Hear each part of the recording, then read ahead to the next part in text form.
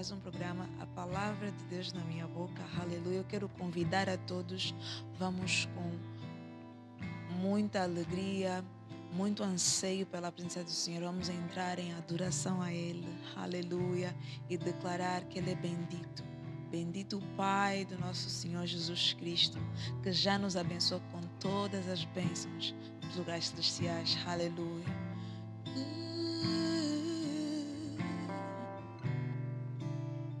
Te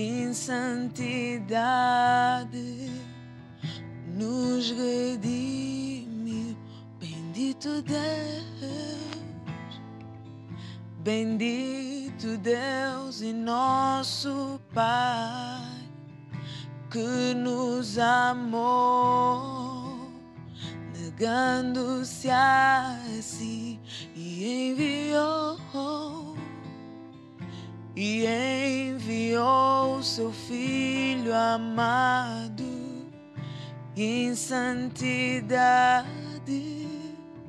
nos redimiu. Adoremos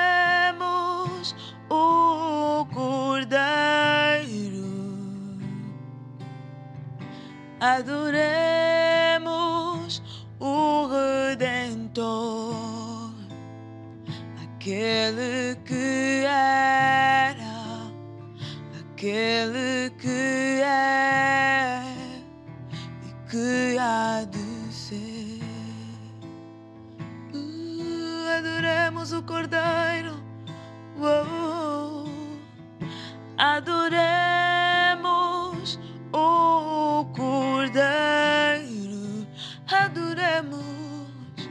adoremos o Redentor,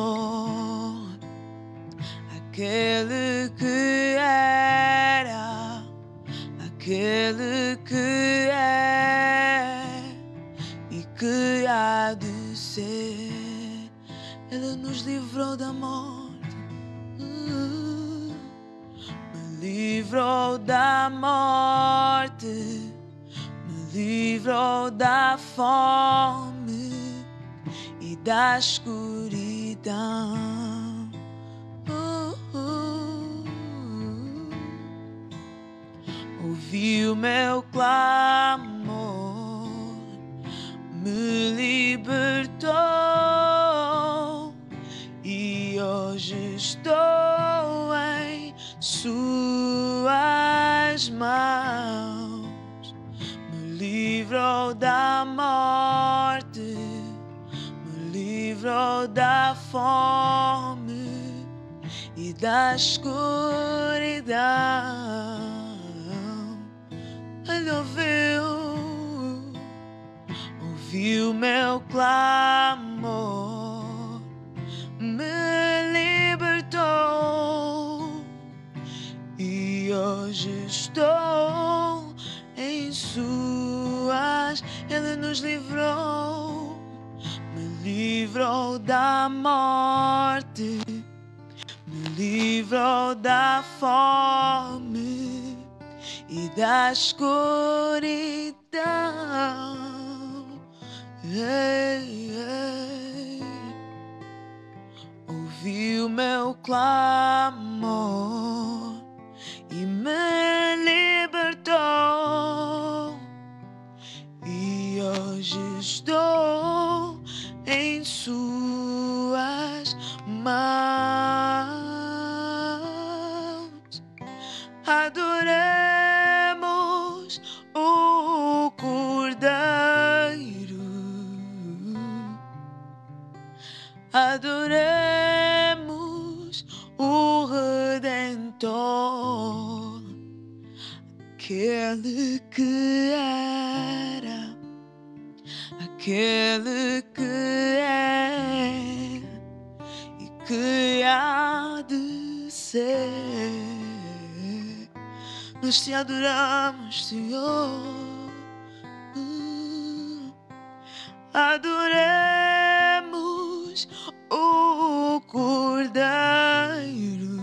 adoremos, adoremos o Redentor, aquele que era, aquele que é, ele há de ser.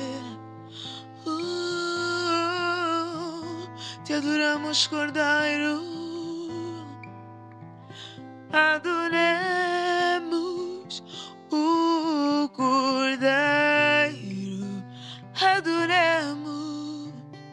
adoremos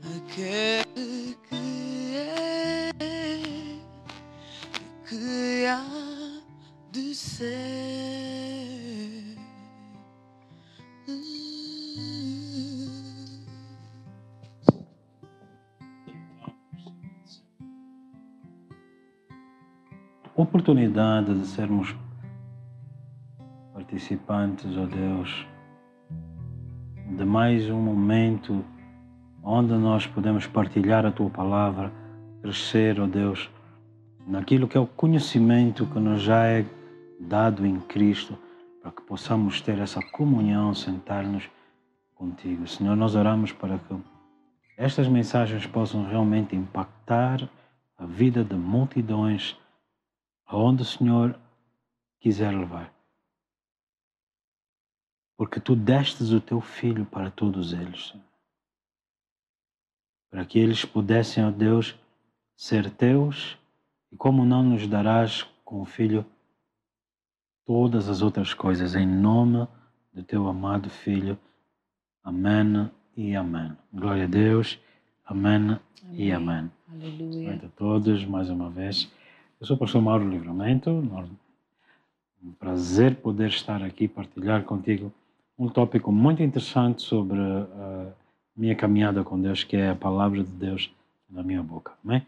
Joana, bem-vinda, glória a Deus. Olá, pastor Mauro. Adoremos o Cordeiro, um grande louvor, uma grande verdade. Eu via o Senhor falar comigo, uh, eu dei o meu filho, dei o meu filho. Como Deus não nos dará com o Filho, o Cordeiro, todas as coisas? Então agarre-se nesses capítulos que nós vamos ensinando, essas mensagens que vamos transmitindo para vocês, para que a tua fé também possa ser edificada de tal modo que, tendo paz em Deus, você também possa ser alguém que agora leve essa mesma comunhão que Deus, através de Jesus, para outras pessoas. Amém e amém. Glória a Deus. Amém. Vamos entrar na nossa mensagem de hoje. Glória a Deus. Aleluia, pastor, amém. Eh, pastor, para entrarmos na mensagem, gostaria que começássemos com um versículo, eh, Efésios 4, a partir do versículo 20. Diz assim: Mas vós não aprendestes assim a Cristo, se é que o tendes ouvido e nele fostes ensinados, como está a verdade em Jesus. Pastor, nesse versículo gostaria de pedir, pudesse uh, aprofundar e nos fazer entender o que é que uh, o Senhor quer nos transmitir com essa passagem. Amém. Uh, daquilo que acabamos de ler em Efésios, o apóstolo Paulo fala sobre um aspecto de discípulos de Cristo. Assim sendo a mensagem que hoje nós abordamos dentro desse aspecto aqui, discípulos de Cristo. Glória a Deus. No livro de Efésios 4, verso 20, vou dar aqui, voltando a ler, mas vós não aprendestes assim a Cristo. Discípulos são aqueles que aprendem com, com o Mestre, e nesse caso, aprender com Cristo. se é que o tendes ouvido e nele ensinado, como está a verdade em Jesus. E vos renoveis do espírito do vosso sentido, e vos revistais do homem novo, que segundo Deus é criado em verdadeira justiça e santidade. Porque deixai a mentira e falai a verdade, cada um com o seu próximo. Porque somos membros uns dos outros. Irai-vos e não pequeis, e não se ponha o sol sobre a vossa ira. Não deis lugar ao diabo. Glória a Deus. Interessante. Falávamos no capítulo anterior sobre hum, uma fé não fingida. E falávamos sobre uma fé não fingida, muito abordamos em torno de termos uma comunicação saudável, quer a nível espiritual, emocional e também físico. Falamos dessa comunicação sobre como nós comunicamos com Deus e Deus conosco por meio da Sua palavra. Falávamos que o amor de Deus manifestou-se num ato de comunicar palavra dele, né? de nos dar a palavra dele. Agora, a comunicação faz algo. Comunicar torna-nos comum, faz termos algo, partilharmos algo em comum. Quando nós falamos comunhão, no inglês common union, aqui por causa da comunicação podemos ter algo em comum. Okay? A comunicação não é só informação ser partilhada, mas é termos comunhão, para sermos um. E a oração de Jesus em João 17 foi: Pai, para que eles sejam um, assim como nós somos um. E diz aqui que ele fala no verso 22 que quanto ao trato passado vos despojeis do velho homem. Era o velho homem um? Caim, Deus lhe perguntou: Aonde está o teu irmão? E ele responde, consciente de que tinha morto o irmão dele. Ele disse: Sou por acaso o guarda do meu irmão? Mas ele estava consciente que ele tinha acabado de matar o irmão dele. Por isso é que Deus lhe perguntou. Porque o sangue de Abel estava a clamar por vingança. E quando ele pergunta, ele também está a dizer: Eu matei, tinha que lhe guardar? Sim. A vida do meu próximo eu tenho que guardar. O meu irmão eu tenho que guardar. O testemunho de Deus na Joana, no, em outra pessoa, tem que ser guardado. O investimento que Deus fez nessa pessoa, nós temos que guardar. Tudo aquilo que Deus fala, faz numa pessoa. Diz a Bíblia que Maria não entendia o que estava a ser dito sobre Jesus, mas ela ponderava essas coisas no coração dela. É necessário nós entendermos isso, a lei de ponderamento. Nós ponderarmos, guardarmos, nem tudo a gente entende diretamente. Pessoas para nós são mistérios às vezes, elas são misteriosas. Por quê? Porque nós em parte conhecemos, em parte profetizamos. Nem tudo a gente sabe sobre, por exemplo, de uma pessoa, a menos que essa pessoa se dê a conhecer por uma comunicação saudável. Venha até aqui, então ele diz assim: O velho homem corrompe-se pelos desejos do engano. O velho homem corrompe-se pelo desejo do engano. E qual é o desejo da nova criatura? O velho homem tinha o desejo pelo engano. Qual é o desejo da nova criatura? Então ele continua aqui a dizer: E vos renoveis no espírito do vosso sentido, revestindo-vos do novo homem, que segundo Deus é criado em verdadeira justiça e santidade. Ou seja, o desejo da nova criatura, do novo homem, é santidade e justiça. A justiça não de observação de leis, mas da fé em Jesus, em que 2 Coríntios 5, 21 diz que Jesus foi feito pecado e nós feitos sua justiça. Nós éramos pecadores e pela fé em Jesus fomos agora feitura da sua justiça. Um exemplo prático: o artista fez a obra de arte. O justo fez de mim, pecador, justiça. Amém. Fantástico.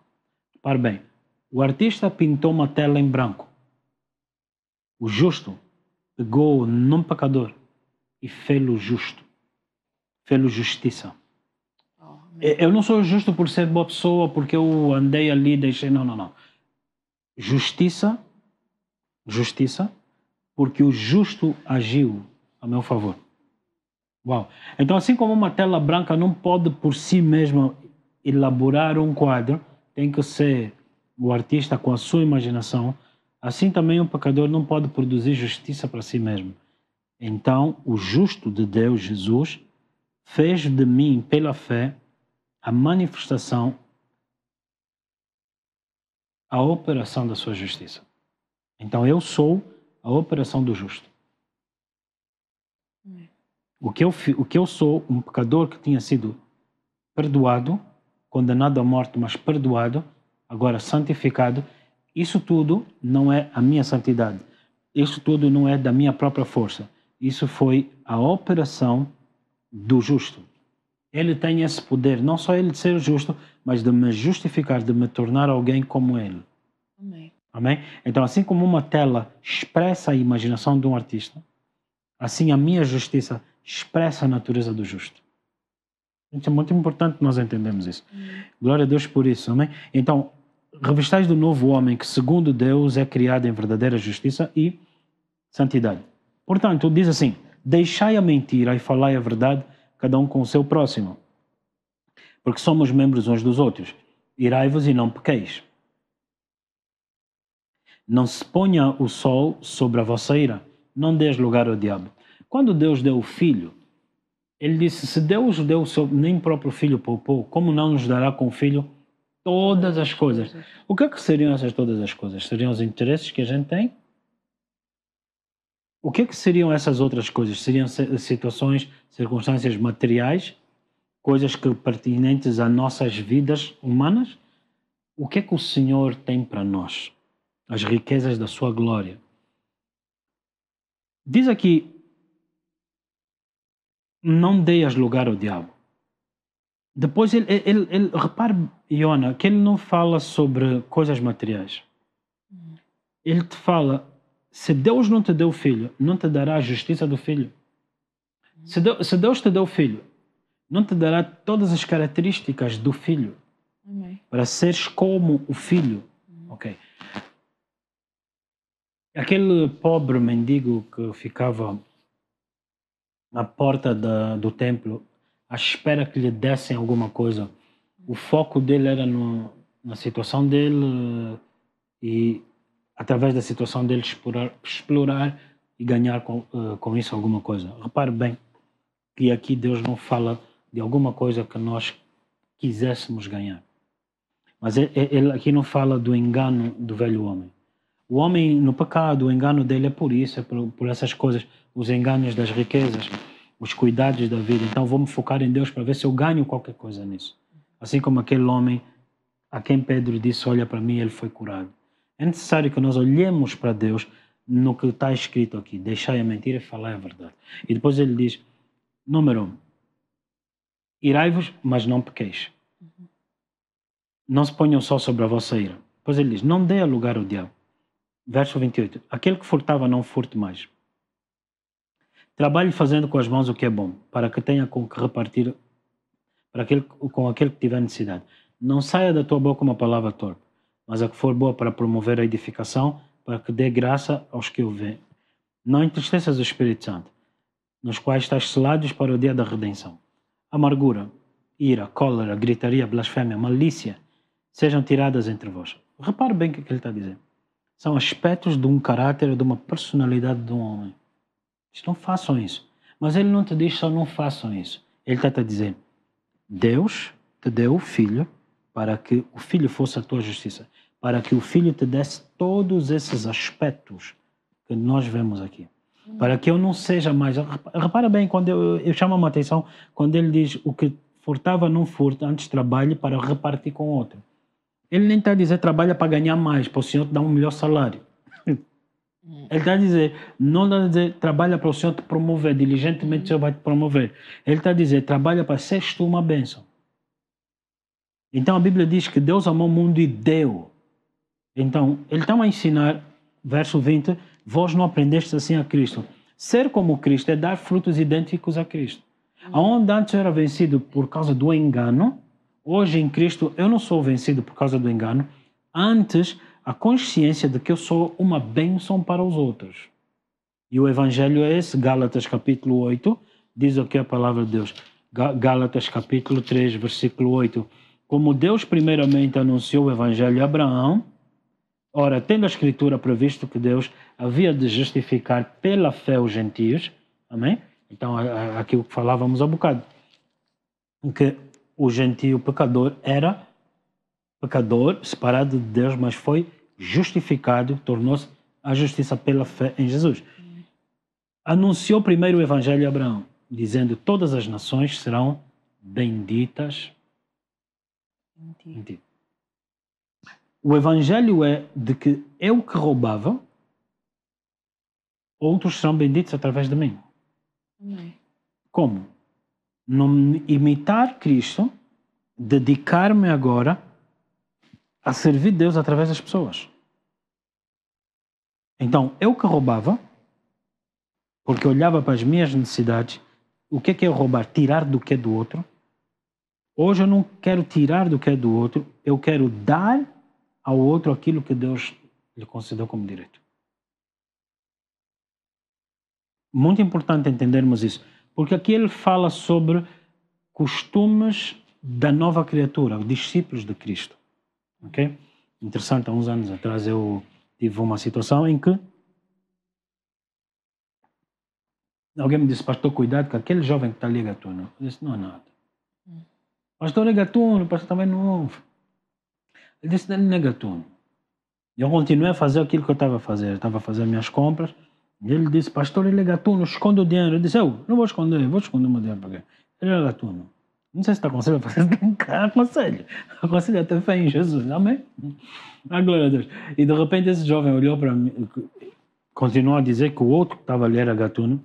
E eu virei-me para o jovem e olhei para ele e disse, jovem, o que roubava, não roube mais.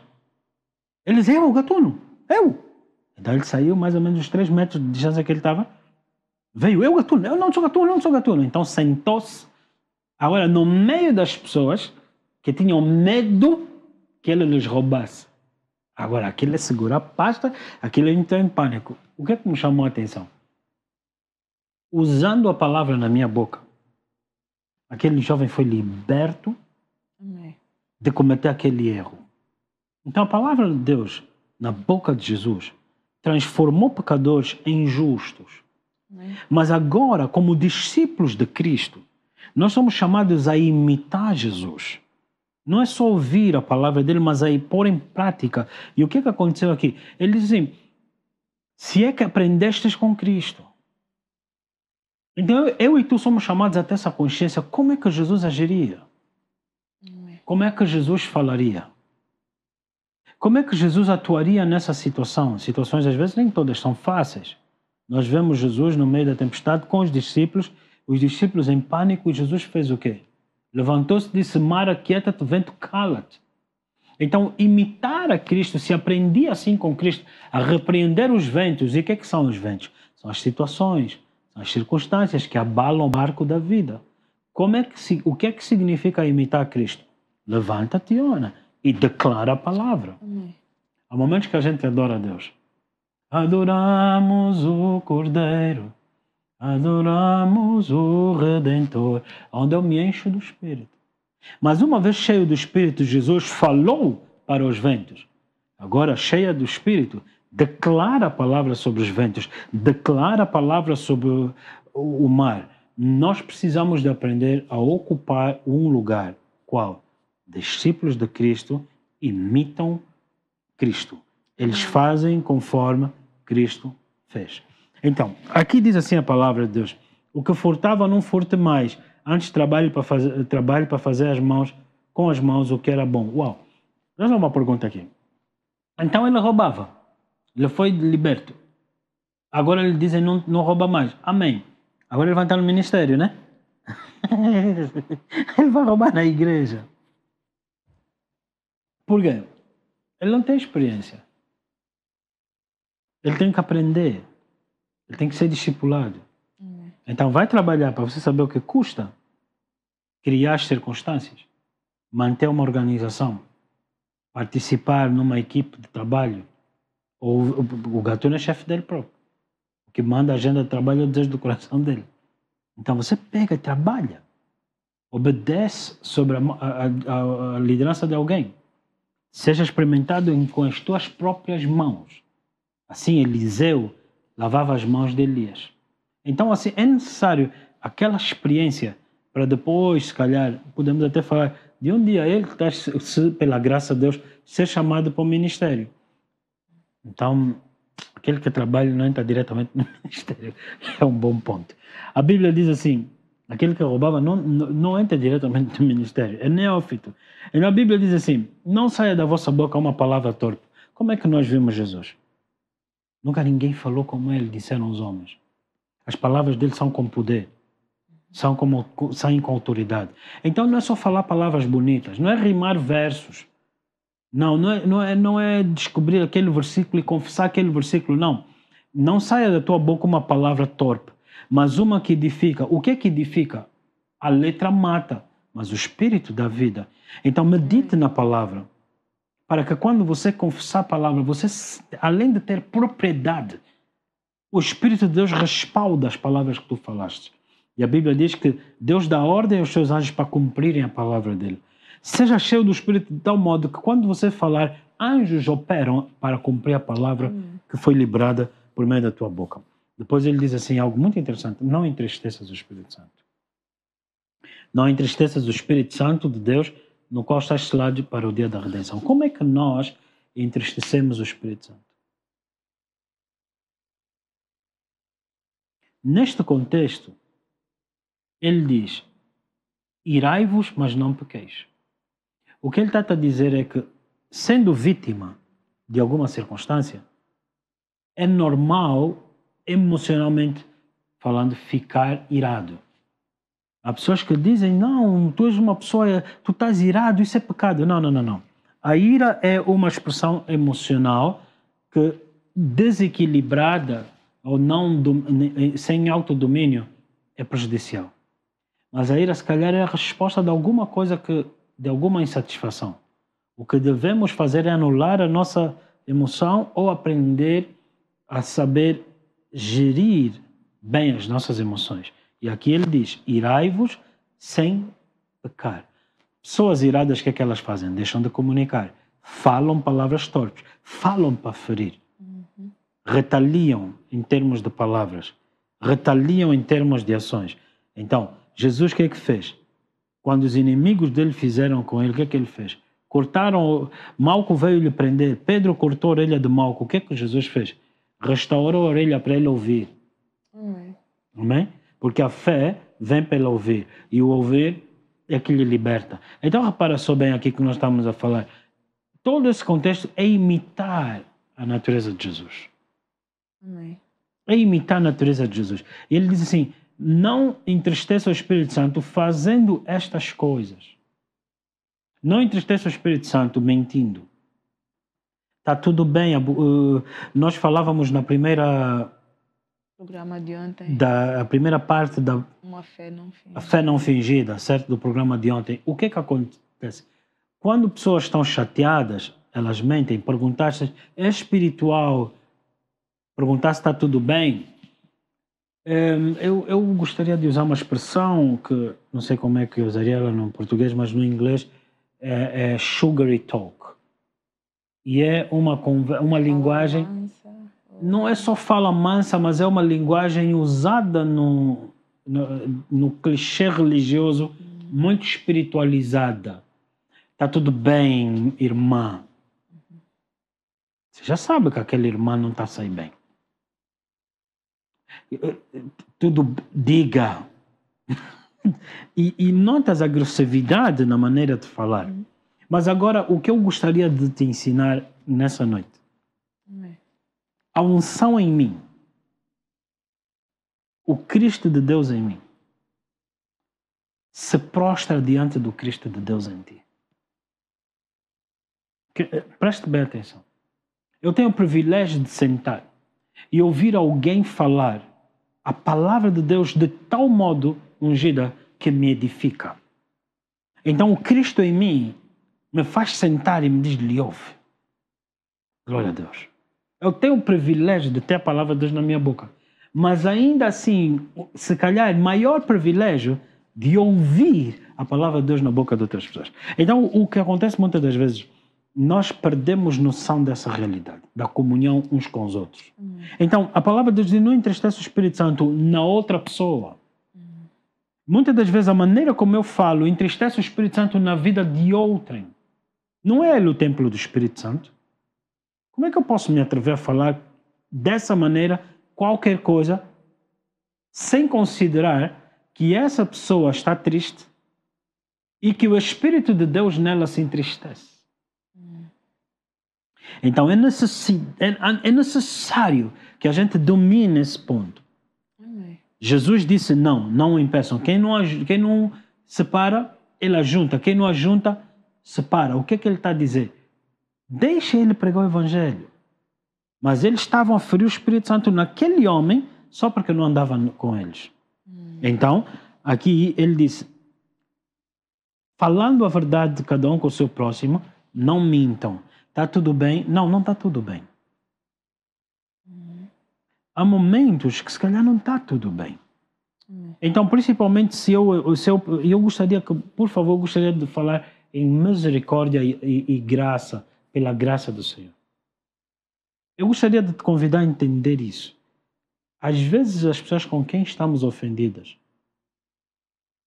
as pessoas que muito nós resistimos debaixo da ofensa, nem sabem que nós lhes ofendemos.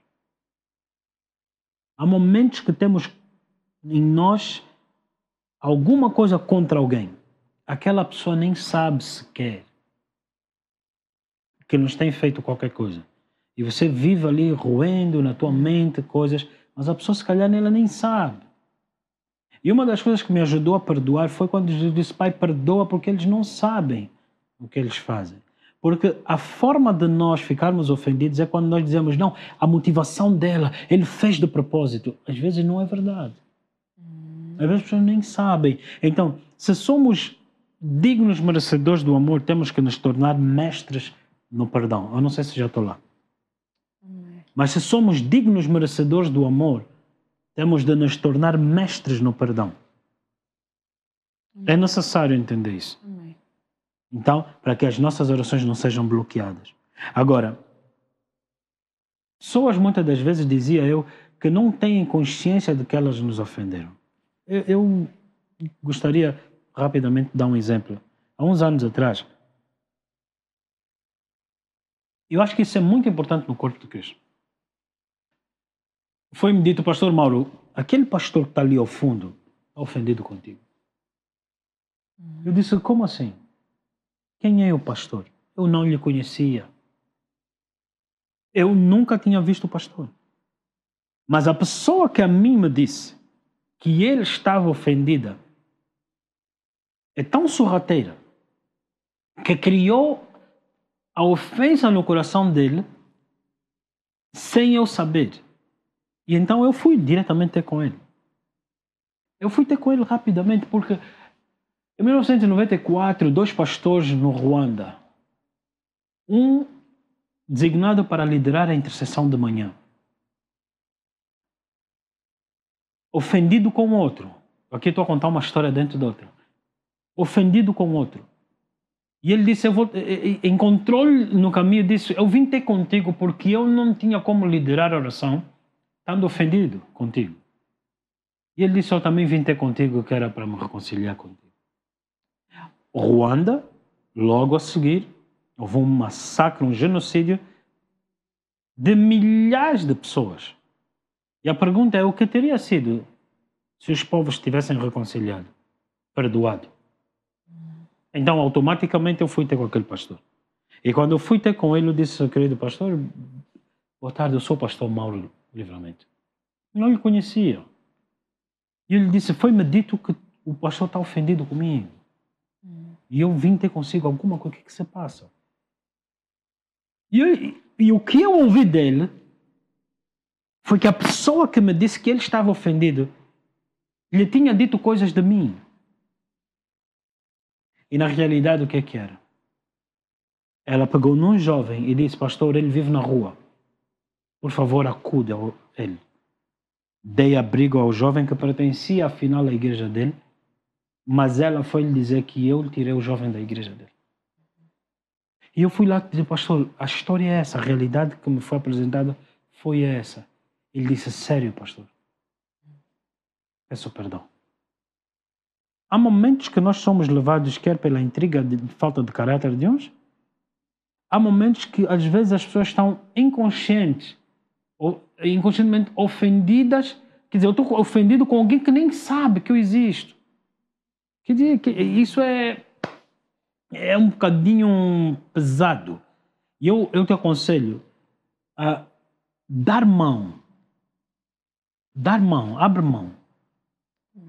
Porque no momento em que tu parares de julgar a motivação da pessoa que errou, logo tu vais conseguir achar facilidade em perdoar. Joana, se uma criança, um bebê inocente, puser o dedo no olho, incomoda.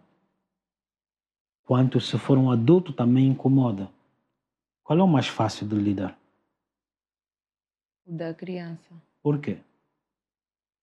Porque temos em mente que a criança não sabe o que está a fazer. Então o adulto fez de propósito? O necessariamente? O adulto já tem consciência. Aí estaríamos a partir para julgar hum. a motivação do da outro. Hum. Uma dificuldade de perdoar é julgar a motivação. Ele hum. fez de propósito, será mesmo? Não, mas ele sabe, será? Hum. Então, para, para de te colocar como vítima dos teus próprios juízos da motivação de outra pessoa. O que a outra pessoa fez está errado, mas tu mereces ser liberto de qualquer ligação com uma pessoa que agiu contra ti.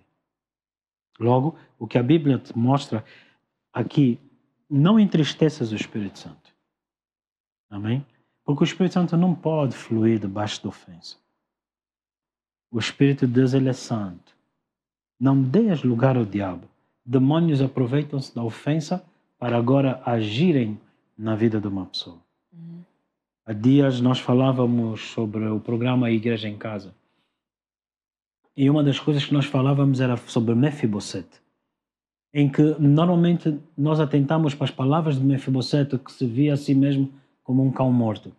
Mas era Davi que lhe convidava a sentar na mesa de, do rei. Mas quem era na realidade Davi? Davi foi o homem que substituiu o pai dele. Não fosse Davi substituir o pai dele, o pai estaria provavelmente vivo e ele não teria caído e assim ficado paraplégico.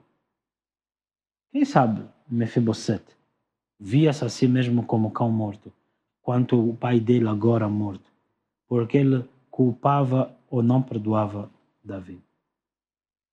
Davi não intentou na morte do pai dele. O pai dele era amigo de Davi. Uhum.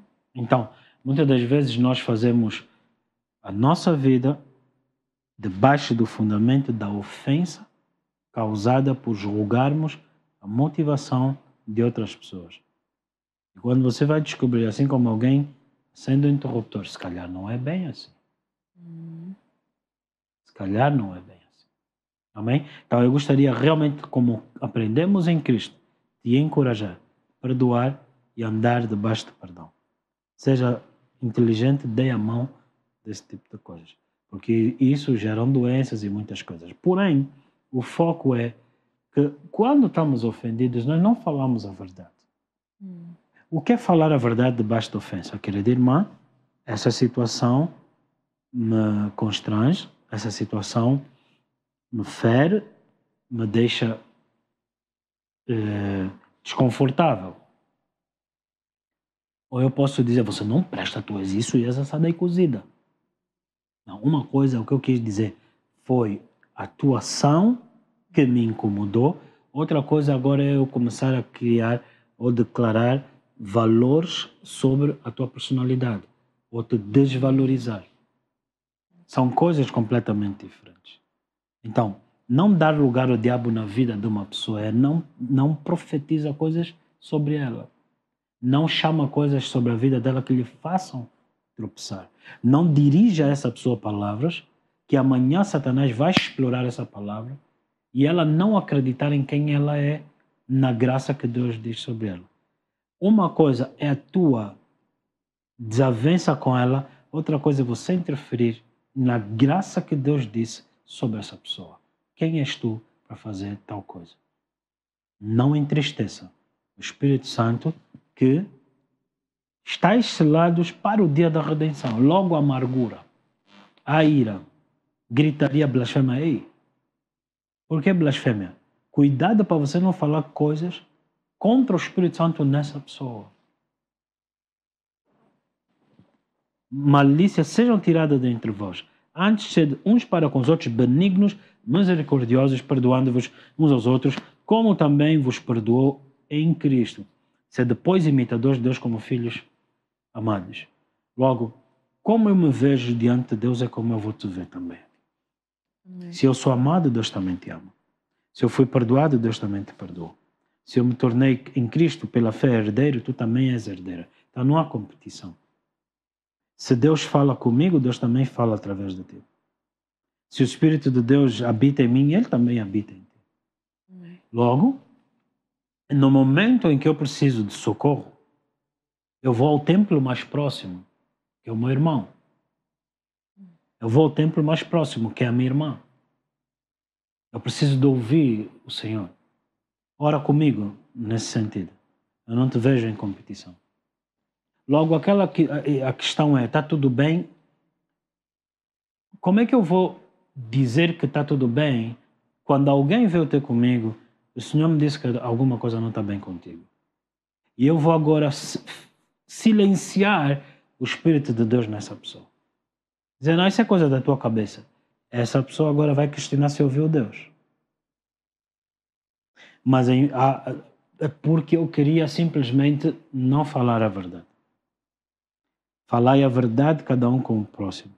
Também significa falar a palavra de Deus e não as mentiras do diabo que inferiorizam, produzem rejeição, ferem criam transtornos na alma de uma pessoa. Não abra a tua boca para que demônios sejam ativados na vida dessa pessoa. Antes, a palavra que sai da tua boca seja a verdade. João 17, a palavra de Deus é a verdade. Mas a palavra que edifica, que liberta, não uma palavra que prende, que oprime. Uhum. Então nós devemos nos refriar de colocar etiquetas nas pessoas essa pessoa é isso. Não. A Bíblia diz: Eu não me envergonho do Evangelho, Romanos 1,16. Porque no Evangelho se descobre a justiça e o poder de Deus para a salvação. Amém? Então, o que é que significa não me envergonhar do Evangelho? Não me envergonho da graça que Deus declarou sobre a minha, sobre a tua vida. Logo, Amém. se o Senhor diz que tu és isso, quem sou eu para contrariar? Logo, eu não vou falar sobre a tua vida palavras que o diabo usa como acusação. Vou falar sobre a tua vida como um homem responsável para te edificar como a noiva de Cristo. Para não te entristecer.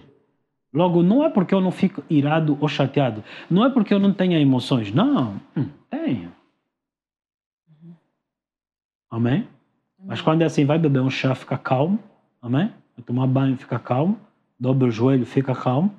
Não te atrevas a declarar a, sobre a obra do Senhor palavras, porque eu e tu somos essa obra. Não te atrevas a declarar palavras ásperas para um filho amado de Deus, para uma filha amada de Deus. Logo, a cultura no reino dos céus é de honra. Amém. É de honra. Parte pelo pressuposto que eu estou a falar com a filha de Deus, com o filho de Deus. Como assim? Eu gostaria só de lançar aqui mesmo um desafio. Se no cristianismo, se a nossa consciência fosse de que a nossa união de irmãos, a nossa união marital, a nossa união eclesiástica fosse na base da honra unicamente e não porque é minha esposa, não porque eu sou teu marido, não porque é, ele é meu marido, não porque eu sou teu pastor, você é meu filho. Eu gostaria só de saber se o primeiro ato de desonra constituísse divórcio, o que, é que aconteceria? Agora preste bem atenção. Alguém iria dizer, mas como assim, pastor? A realidade de quão inclinados nós estamos e propensos, sem querer saber das consequências, estamos tão inclinados sem pensar em desonrar o próximo. Não. A Bíblia diz: No mundo tereis aflições. Afligidos pelo mundo. Logo, eu, como não sou do mundo, não posso afligir a alma do justo. E nós estamos a fazer paz consentindo em afligir o justo. Não. Então a palavra de Deus está na tua boca para esta razão. Para você ser uma pessoa que encoraja, uma esposa que encoraja, um marido que encoraja, um pai que encoraja, uma mãe que encoraja, um irmão que encoraja, que edifica a verdade de Cristo, não uma pessoa, não que lhe leva a frustração, não lhe leva a falar debaixo de ira, gritaria, cansaço. Não, não. Não foi para isso que fomos libertos. Temos o Espírito de Deus e não o Espírito do mundo. 1 Coríntios capítulo 2, verso 12, rapidamente.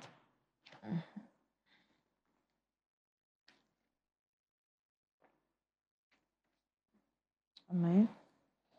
Mas nós não recebemos o Espírito do mundo, mas o Espírito que provém de Deus, para que pudéssemos conhecer o que nos é dado gratuitamente então, por Deus. Eu que tenho o Espírito de Deus, para saber o que Deus me deu, também sei o que Deus te deu.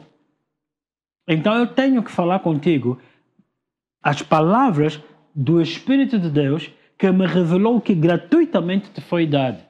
Pois Deus vela para cumprir a palavra dele. Eu não devo falar coisas sobre ti que não foi do Espírito de Deus, mas do Espírito do mundo. Hum. Onde se manifesta a ira, a cólera, gritaria, blasfémia. Não. Hum. Então, refreie a tua boca de ser o veículo que Satanás usa. Porque Deus colocou a palavra de Deus na tua boca para que você cresça na palavra e pela fé outros, a tua obediência, outros fossem benditos. Essa é a mensagem do Evangelho de Romanos, onde diz que não me envergonho do Evangelho. O que é, que é o Evangelho? Em ti serão benditas todas as famílias. Eu não me envergonho da graça que Deus me deu, de que através de mim outros sejam benditos. Eu não me envergonho disso. Não há nada a ver com o não me envergonho de levar a minha Bíblia na igreja. A minha Bíblia na mão. Hoje até levar uma Bíblia no telemóvel não é mais a questão do género. Há povos que não têm acesso à Bíblia, são perseguidos por isso, não é nada disso. Não me envergonho do Evangelho, da justiça que ele diz sobre mim, de que por meio da minha obediência, da minha fé, outros não serão feridos, não serão humilhados, não serão destruídos emocionalmente, antes serão edificados, vamos amarrar, destruir, declarar liberdade, a verdade de Cristo sobre essas pessoas, pessoas que não acreditavam nelas, mas o Senhor, através de nós, falar a palavra que liberta e que remete para o futuro de Deus sobre essas pessoas. Queridos irmãos, é necessário você entender. A palavra de Deus na minha boca é muito mais do que um programa. É uma verdade de parceria de Deus com o homem. Façamos o homem nossa imagem e semelhança governe, domine ele pela palavra de Deus na boca. O que ligares será na terra é ligado, o que não ligares também não é ligado. Então, não concorde com as mentiras do diabo na vida de uma pessoa.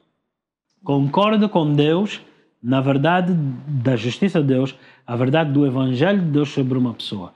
E nisso sereis chamados filhos do vosso Pai. Amém? Como Jesus. Glória a Deus. Aleluia. Glória, glória a Deus. Aleluia, pastor, muito obrigada. Tão profundo e um aspecto que realmente achei fantástico é o ponto que o pastor tocou sobre quando estou numa situação, eu me dirijo ao templo mais próximo. Amém? Isso é muito Amém. profundo. Amém. Glória a Deus. Muito profundo, porque eh, dizer ao templo mais próximo já nos traz logo à memória. Nossa O meu identidade. próximo, a nossa identidade e o meu Uhum. próximo, ele também tem o Espírito de Deus. Ele também carrega Cristo. Eu também posso extrair profundezas, uma palavra do Senhor nele. Na, na qualidade de um pastor, Iona, na qualidade de um pastor, de um apóstolo, um profeta, de um mestre, do evangelista, o meu papel é moldar e formar Cristo em ti. Não é formar a minha opinião sobre ti. Não. É moldar o que Deus disse sobre ti. Agora, há momentos que eu vou corrigir. Amém. Mas a Bíblia diz: ainda que assim falemos, de vós, santos, esperamos coisas melhores. Então o que é que eu espero dos santos? Que Deus se mova neles. Amém. Eu estou à espera do dia que Deus se move nesse irmão. Então por isso é que eu treino e instruo para que Deus se mova neles. Para que você seja uma bênção, não seja mais o diabo a te fazer tropeçar.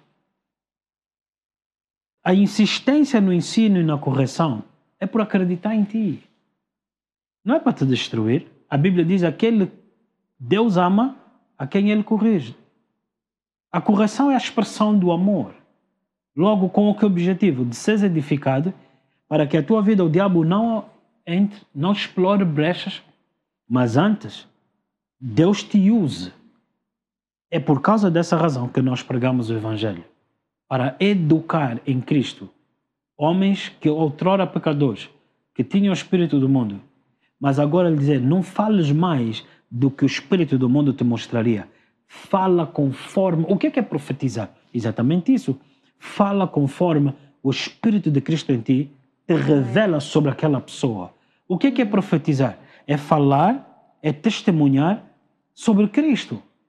Então eu vou me dirigir a alguém na expectativa de que Deus coloque a palavra dele na minha boca para libertar essa casa, essa família e fazer dessa mulher uma grande bênção, fazer desse homem uma grande bênção. Então, qual é o meu papel? Não é ser dono nem dominar o povo, mas antes paralisar Satanás, libertando-lhe pela palavra na minha boca e pela palavra na minha boca falar ou profetizar sobre as coisas que o Senhor, pelo seu Espírito, coloca em nós sobre a tua vida.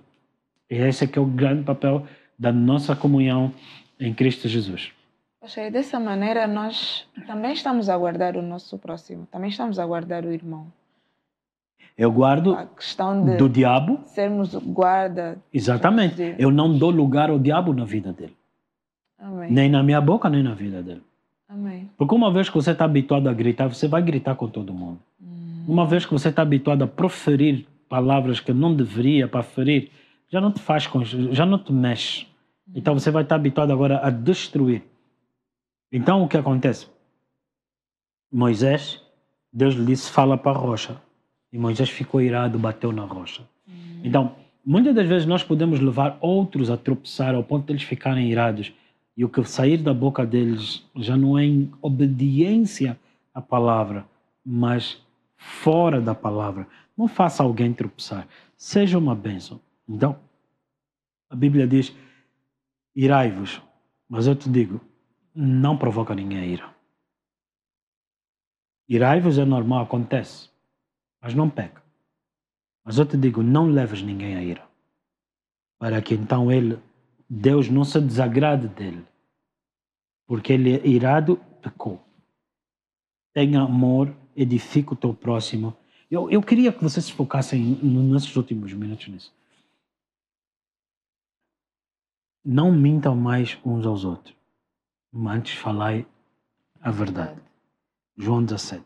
Santifica-os na verdade, a tua palavra é. A verdade. Não saia da tua boca uma palavra torpe, mas aquela que edifica. Conhecerás a verdade e a verdade vos libertará. Edificarei a minha igreja. Fale a palavra que edifica, que promove edificação. Profecia tem visa edificar a igreja. 1 de Coríntios 2, verso 12. Não temos o espírito do mundo, que é da acusação, mas temos o espírito de Deus, que nos revela o que Deus gratuitamente nos tem dado. Logo, eu vou ouvir o que o Senhor me diz sobre a Joana. Senhor, eu, eu, eu, eu vou orar pela Joana. Eu vou orar pela igreja. Senhor, obrigado pela tua palavra. A tua palavra sobre a Joana, Senhor, o que é que tu dizes na tua palavra? Isaías 50, verso 4. Me instrui, dando-me uma língua instruída, para que eu saiba o que dizer para a Joana. Para que eu saiba o que ouvir e o que dizer para lhe edificar. Eu lhe ouço como discípulo de Cristo para saber como te edificar. Cristo veio para destruir as obras do maligno. Seja também tu um homem, um agente, uma mulher, cuja palavra de Deus na tua boca para destruir as obras de Satanás na vida dos outros. Amém. Deus te chamou para encorajar e não para desencorajar. Amém? Eu repreendo, eu corrijo no intuito de ver Cristo em ti, para que vocês façam as obras do vosso Pai. Então, ainda que assim falemos, debaixo de correção às vezes, de vós, amados, esperamos coisas melhores. E o que melhor? Senão Cristo. Pode alguma coisa boa vir dali? Cristo veio. Amém? Amém? Eu acredito que Cristo vai fluir de ti, o templo. Cristo vai fluir de mim e de todos aqueles que crendo rios de água viva. Aleluia. Aleluia. Aleluia. O nosso Deus nos livra de toda cilada. E o nosso bom Pai nos guarda e nos leva para aquele lugar onde você é achado no potencial da tua vida ser uma bênção para os outros. Amém Aleluia. e amém. Glória a Deus. Glória então, o meu último conselho, porque você tem essa promessa, não ande com pessoas que te desencorajam a ser essa bênção.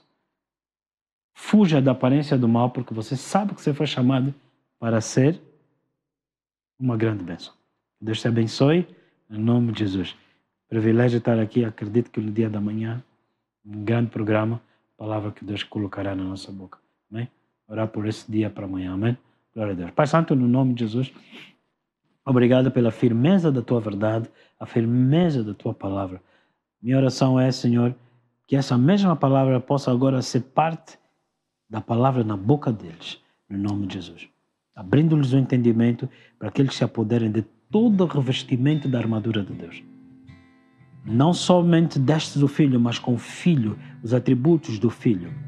De sermos uma bênção, de sermos justiça de Deus, de sermos, ó oh Deus, a expressão da tua sabedoria.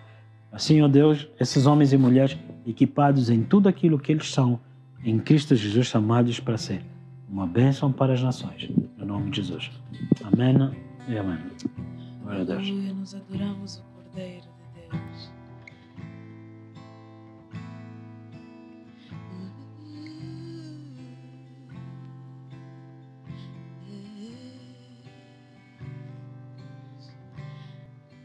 Nós adoramos o Cordeiro de Deus. Aleluia.